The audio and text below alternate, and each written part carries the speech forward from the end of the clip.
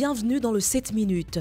Au sommaire de cette édition, formation. L'Université d'été pour la bonne gouvernance 2023 est ouverte. Ronde du social. La ville de Dalois abrite la cinquième édition. Réfugiés.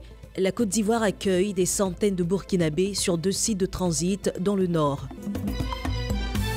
Jacques est juriste martiniste de formation et secrétaire général d'association. Ce matin, lui et ses amis sont inscrits à un programme de formation sur la bonne gouvernance, une thématique dont il a une vague notion. On dirait que c'est une éthique, c'est un modèle institutionnel, c'est la conformité avec les règles, avec tout ce qui est réglementation. Donc, est-ce que les institutions de la République travaillent en adéquation avec les règles C'est toutes ces questions-là que nous sommes venus apprendre aujourd'hui. Ce programme est celui de l'Université d'été pour la bonne gouvernance, organisé par la Commission nationale du mécanisme africain d'évaluation par les pairs. Pour l'édition 2023 qui s'est ouverte le mardi 25 juillet, l'accent est mis sur la jeunesse, d'où le thème la gouvernance au service de la jeunesse. Les principaux objectifs visés par cette université qui sont de faire le point des initiatives gouvernementales mises en faveur des jeunes, mais également d'analyser la situation de la jeunesse ivoirienne et de la jeunesse africaine au regard des problématiques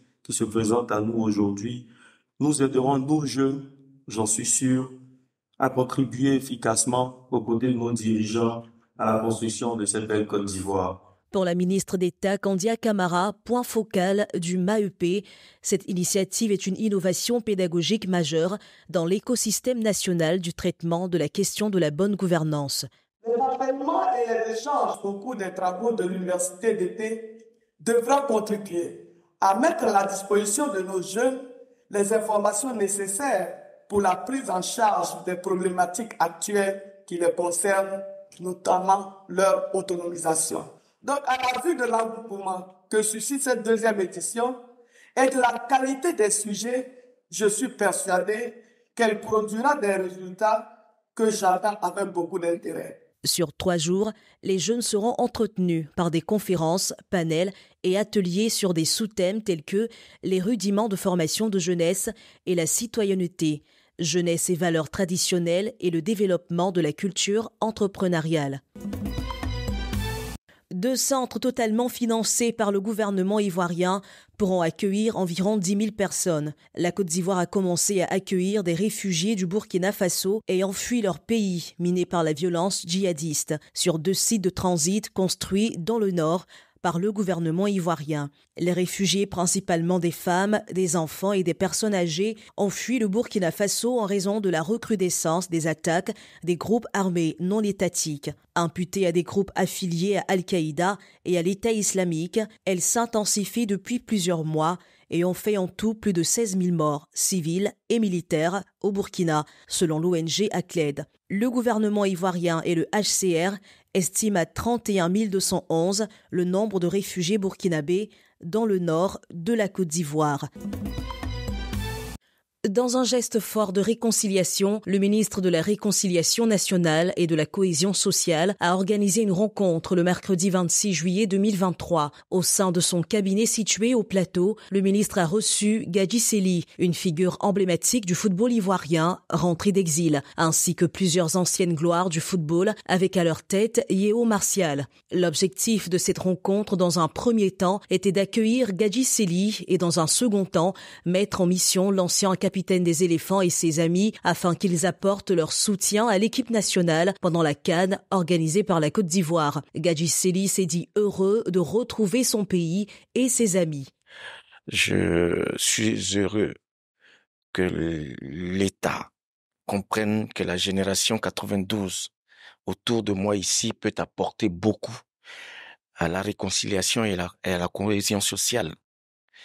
Parce que nous l'avons fait auparavant nous avons permis à notre président, le premier président de Côte d'Ivoire, Félix Houphouët-Boigny, de sortir et saluer son peuple.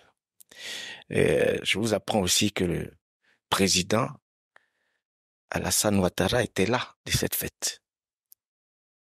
Il était le premier ministre.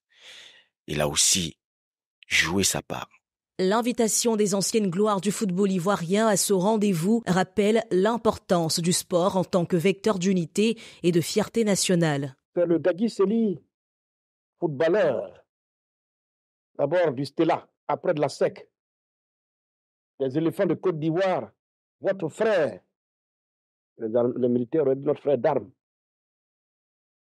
C'est Gagui Seli qui arrive, c'est pourquoi je souhaitais que vous veniez m'aider à le recevoir. Et c'est à vous que je dis merci. Merci d'être venu, d'avoir répondu à mon invitation pour que les Ivoiriens comprennent très bien qu'il est beau pour les frères d'être ensemble, d'être unis.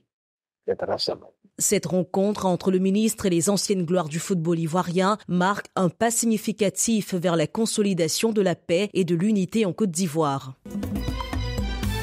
La ville de Daloa a été choisie pour abriter la cérémonie officielle de la cinquième édition de la Ronde du Social du 17 au 23 juillet 2023 le ministère de l'Emploi et de la Protection sociale a présenté la politique sociale du gouvernement aux populations de la région du Haut-Sassandra. Le ministre Adama Kamara, chargé de ce département ministériel, explique les objectifs de la ronde sociale.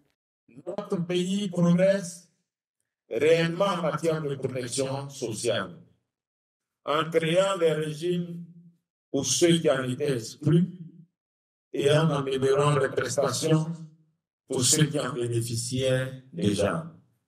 Cette approche d'extension à l'ensemble de la population résidant en Côte d'Ivoire est le fondement de la vision de la Côte d'Ivoire solidaire, où personne, je dis bien personne, ne sera laissé pour compte dans la marche sous la haute égide du président de la République, Alassane Ouattara, vers un niveau de développement économique et social plus et plus.